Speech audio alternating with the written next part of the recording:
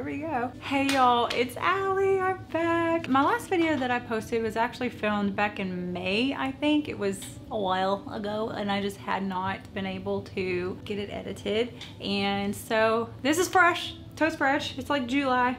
27th. I am still recovering from an extraction that I had in the back of my mouth, so I'm talking a little funny, but I was a two for one deal because I got my crowns. No more gaps in my teeth. So I got one taken out two put in.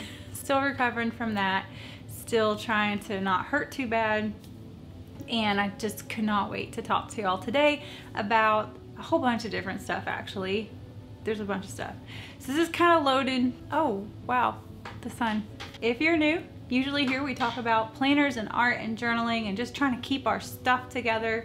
Um, there's some lifestyle things in there too. You occasionally will see Dietrich Bonhoeffer make an appearance or one of my mini animals. But today I just kind of want to give an update on the content that's coming, ask some questions because I have some things brewing that I'm thinking about that I might want to do. I've already had people reach out and ask me if I was going to do them. And so we'll see. But my first thing is this. Can you believe I purchased rings again? Oh my gosh. Okay, so um, I'm gonna go through this super quickly in a minute. It's not finished yet. This is very much um, a labor of love. I do enjoy the rings, but I'll tell you why why I got this. Okay, before before oh god, so many thoughts in my head. Before I had a YouTube channel, I purchased a file Filofax. This was my first, this exact, not this exact, but this Filofax, the original nude, patent nude, was my first planner purchase. Oh, okay. I gotta go put my husband's clothes in the dryer.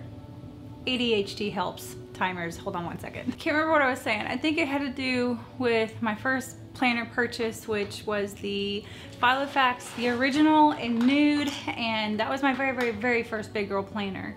I'd had like some things from Walmart rings in the past and I got rid of them.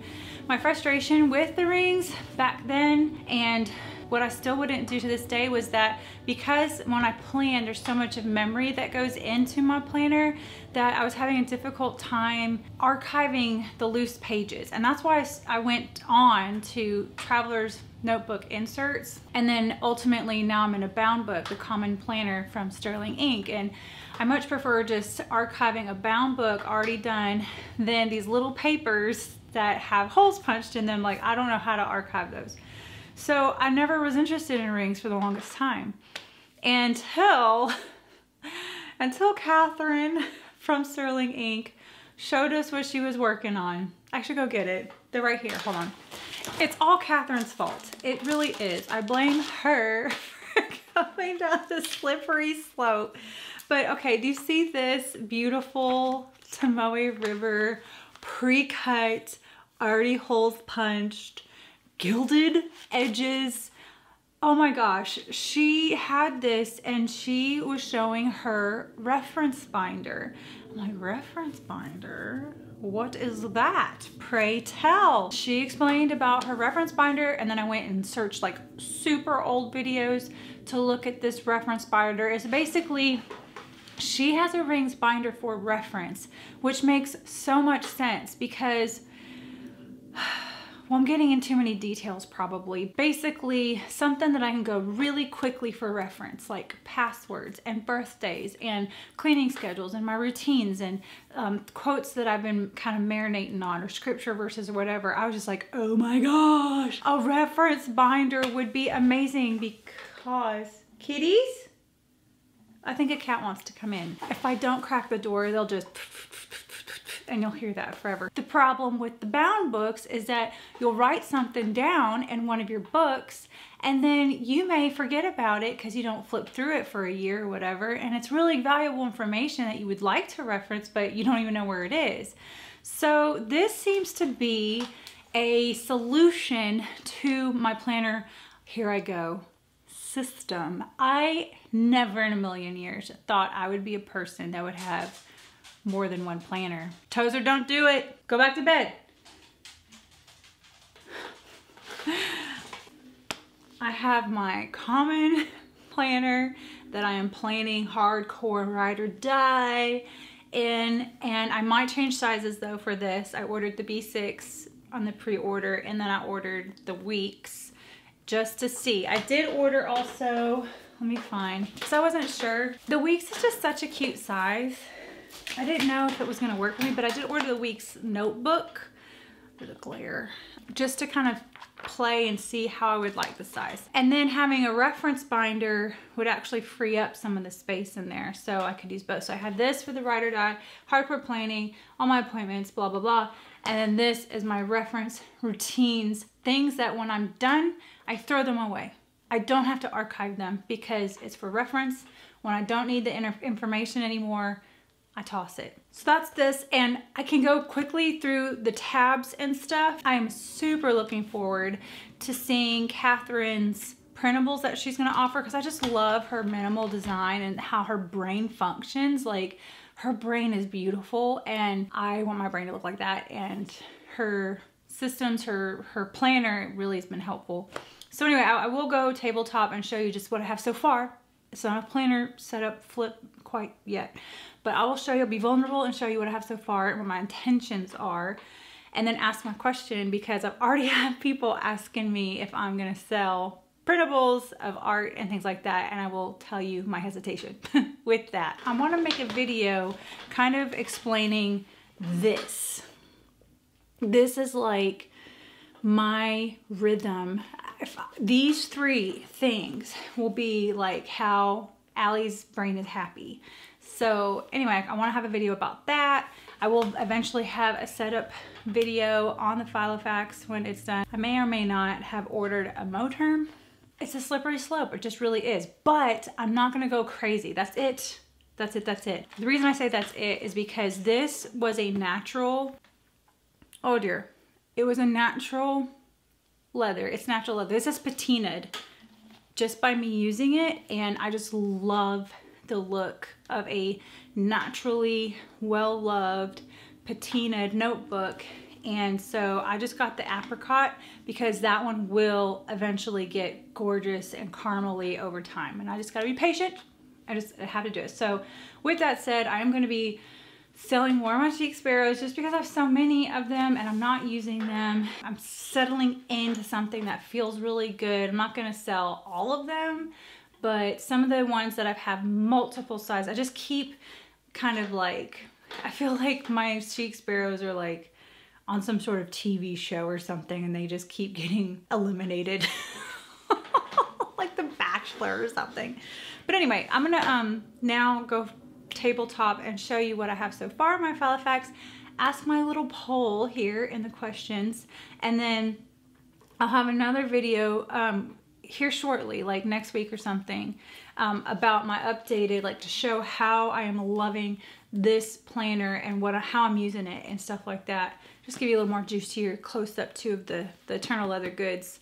Um, for sure, for sure, if I do stick with the week size for next year. I already have this one for next year and I know it'll work, but I will probably end up buying an Eternal Leather Goods custom for this as well. Not this, but the, the planner. Tabletop time. Hello? Hello? Okay, I think this is working. I wanted to really quickly first just give a little close up on these papers. So this is Tomoe paper, the Sanzen, and they are just lovely. I really have been enjoying the new paper. I didn't really like the one that was in between the old stuff and this. Um, there's the gilded edges and it I'm so so grateful that it prints so beautifully in my printer, my Epson 8550. I did a, not a review, but I did like why I chose the 8550. And I am gonna do an update on how I still feel about the printer because I have, there are some things that I've learned and I think are very important. Bought three packs total. I think there's a hundred sheets in each pack. Can't remember how much I spent on it honestly. But I really hope she continues to keep these in stock because I don't know, I just love, love, love just being able to put the piece, the already done piece in the printer. I know that many shops will do the um, spread format to like do your printables, but I really honestly prefer just one at a time. And I know it takes a little bit longer, but I feel like already, like when I take the papers that I use, like a 28 pound paper, that I can get three pre cut personal size pages on one piece of paper as opposed to doing a spread and then chopping it up. Does that make sense? So I was actually for all of my art in this rings binder, this Filofax, I did it all single single pages. And that's one of my dilemmas that I was going to share with y'all was about how to present a printable in my shop because I really honestly prefer single pre-cut pages. Just to show you an example, um, oh, that's ugly. That's not aesthetic at all. I'm to show you an example of how this paper prints out. I just printed out today an insert that I purchased, and then this is like, I did a notes page. So this is the paper that Catherine provides, and I ran it through my printer. And this is a Haroo, Haroo. I don't know how to, I don't know how to pronounce that, but look how pretty. It's just so great. It prints so sweet. And my Epson has a option for thin paper. So when you choose thin paper, I don't know if it like talks to the machine to be careful or something, but on the 8550 it has an option when you download the driver for that printer. I'm not talking about AirPrint. That's a whole nother topic. Most people don't realize that on a Mac anyway, like when you hook up your printer, it just defaults to the AirPrint thing on the Mac, but really it is best to download the driver for that printer. There's so many more options and it's a bit techy to think about. I know it can like blow some people's circuits because they don't like thinking about tech stuff, but I'm saying it. I would not have that option for thin paper if I was using the AirPrint thing for Mac and not my Epson driver. So there's that. I don't want to go too much into my setup because it's not really set up. I did I did design this with my art and it's just vellum.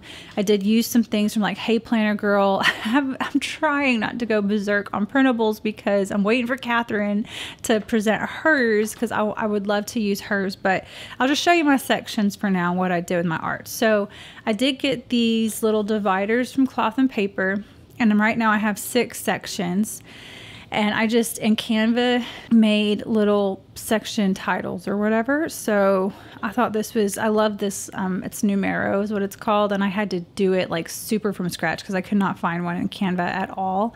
But so this is the one, two, three, four, five, six. And then what I did was behind each vellum, I did some art in my iPad. So this is a little abstract botanical. I think they're really pretty. I would, I think they're pretty. They're kind of like my vibe.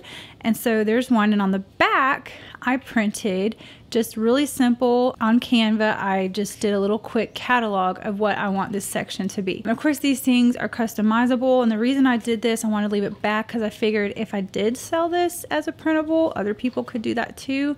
Um, I don't really like, like, like having blank stuff on the back. I'll do it if I have to. So this one will be my um, uh, dreams and goals. This is the faith section. Um, and this is the art that I did for that. And you can mix and match them. You can put them wherever you want. This is just how I set it up. So I really liked those little leaves. And this is home management. So it'll be like finance and stuff. I won't go too much into the details of what each section is because, again, I don't want to get up into the setup because it's not truly done. But yeah, just that. And then this one is wellness. My one little word, fitness, inspiration, health trackers and stuff. But that's the art for that then my creative business because I'm desperately trying to hold on to that. That's the little art for that. Brain food, which is like stuff I love to research. Uh, ADHD helps. Um, right now, I'm really uh, diving into minimalism and like the benefits of that. So it's like research stuff, uh, books that I want to read, things that I can reference pretty quickly. I'm a type 5, so this is an exciting section for me. but that's the art that I did for that. And like here's one that I made for myself. Um, I was watching a YouTube video on helps for ADHD people and like she was saying uh, place, retrieve, return. She said that throughout the video. And so, I was like, I just need to write myself a little inspirational thing. Like, I've got to, gosh darn it, return stuff because I'll, I'll place it and I'll retrieve it. I won't return it a lot of times. And then I haven't put my passwords in here yet, but that would be nicely hidden from everybody. And then I just um, have the extra months for for the Hey Planner Girl back here. That's just a really quick, quick, quick, quick overview. But my question is this: so, couple things. People have been asking for my art, my dashboard art. And of course, I think what I would do, obviously, is just offer them as a printable. I think there's just something about the instant gratification of just having something come to your inbox.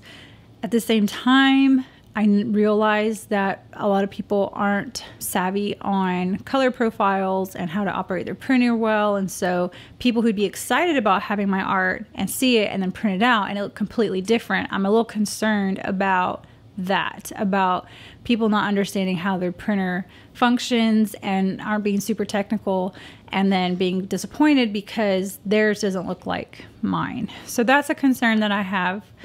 The other concern that I have is that I would like to do them just single sheets. I don't want to do spreads. So like I don't know how popular that is to just offer just single like 3 point you know 75 by 6.75 files to people to print out. That was a little bit of a concern. And then, of course, my last concern is that if I offer this in personal, there's like a bajillion sizes that I could format for. And I really don't want to like overwhelm myself. so I think I would just limit it to just the popular ones, which is A5, personal, and pocket, which I think would make some people mad. But I don't want to get too crazy at the beginning. And I know I could maybe in the future start adding more sizes, but I don't want to overwhelm myself. So those are my three concerns with offering the printables. The other thing is like cost. Like what do I charge for my art, you know, that's just being able to be printed in someone's home. I've never offered my art stuff as printables before. There's risks of all sorts of things that can happen with that. Like this, I'm going to make these stickers as well. These will be sti- on, on sticker sheets, which will be product, not printables that I will sell them as stickers. Like I even made just recently, let me find it. Where'd it go? Printed out these itty bitty dots because I wanted them for myself. And I had someone reach out like, hey, can I buy some of those? so it's like, I mean, I wanted to start up my sticker shop again, and that was the point. But I just got to get my mindset wrapped around it and figure out when I'm going to spend the time to, you know, do that. So, like, I've been using my dots for tracking this month, and they are so, they fit so perfectly. They're teeny tiny, y'all, like two millimeters. They fit inside the common planner grid. I have to use tweezers me personally. I use tweezers to get them off and stick them exactly where I want them. I am going to make some bigger ones though too. That's just kind of like, ooh, I, I don't know. I'm kind of wondering about it. That's what I'm excited about. I'm excited about this reference binder that I will have something that I can go to quickly. I'll give you a sneak peek. I've been really using I haven't completed all of the sections because I'm going through each section and like seriously taking an entire week to kind of like think through how I want. And of course, you can you can adapt it as you go along too. But I just want to just have a good foundation for when I start. But my home management section right now has some things that I've already been using. Um, one of them, and don't mind these pages because they're older. They're not the. This is not Catherine's pre-done stuff. This was old, old like OG Tomoe River paper. So here's the other OG. Look how bad rat tattered this looks. This is my meal plan for the week and my grocery list. And this is my second week meal planning. And oh my goodness, this has helped me so much. I even have I'm just getting my stuff together. Like, I'm so excited. This has been so helpful. Like, I even went through I'm going through my freezer. I'm going to have a freezer inventory that I put in here to reference. So like I went through the right side of my freezer and I have like so much venison that we're using now and like the whole chickens from my friend's farm that I can do spatchcock chicken. I've got some salmon from Alaska that a friend gave me. Like I can actually use the food that I have. We've been saving money because we're using the food in our freezer and um, it just takes a little bit of thought on what I want to cook and just planning accordingly, like how much time. Like Wednesday night, I have my prayer meeting and I lead worship and I, I lead that set. So I need something like super quick for that evening because I'm literally cooking dinner at 9, 9 p.m. David leaves early that day. That's his filming day at the church. He comes home with me. We eat together. So I just cook real quick fish. It's so quick to cook fish. And then I just pop some potatoes in the um, microwave. And I haven't really been doing the broccoli. I've just been doing like a salad on the side or coleslaw or something. That's been super quick to eat. And then like today, Thursday. So I do my venison recipes usually on Thursdays. Family nights on Tuesday. So I'll do something a little more fancy. But anyway, that and then cleaning. So this is a, I am going to use these up. These were from Planner Room on Etsy and they were spreads I don't know if she has pre-cuts of these or not, but I am going to use these. I'm not throwing these away because because I want to use them. But I've been doing really good with my tidying and my cleaning and stuff. And then my last one I did is a pet purchase. I want to be tracking my pet purchases because I kind of want to get a good idea of what we're spending, what chicken feed, kitty litter, cat food, dog food, um, finch food. Like we have a lot of animals, and I really want to be able to see, like, oh my goodness, like what exactly are we purchasing at what times? Because it it would be helpful for me to see that. And why do I want this data? So that I don't get two cats to replace one cat in the future. if one of them dies, because that's always what happens. It's like multiplication. When one of my animals dies, I replace it with two. Like when Jim died, I got another Jim and two more finches. so I just need to stop that because it's money. It's expensive animals. Anyway, so that's just into that that section. But that's all I wanted to share today was just kind of like the rumblings of this planner and how I'm going to use it as a reference binder and home management system to accompany my Sterling Ink Common Planner. And these are it's very exciting. I'm very excited about this. I'm excited about the Moterm that is coming. I will still keep this. I just love the look of this. It's just so classic. I'll only have two of those. And then, of course, I only have one of the B6. But yeah, that's it. That's all I wanted to share with y'all today. If you have any input or opinion or whatever, I am soliciting your opinion and input for the printables. Like, is it widely known in printable world that the stuff that prints out on your computer is not necessarily what exactly is going to be shown in the images in the description or the images that are shown in the listings, like I'm a little concerned about that. Is it a problem to just offer files that offer the, the pre-cut files so that you just put the pre-cut stuff in there and you print them? The other thing I like about the pre-cuts is that if you mess up one, then you've messed up one. It's not like two. It's not like so much paper has been been ruined or whatever. I guess you can recycle it or whatever, which is what I usually do. But anyway, all right, y'all, thank you so much for hanging out with me today. And I'm excited to get back in my rhythm of filming and sharing different things with y'all. I will see you in the next video. Bye.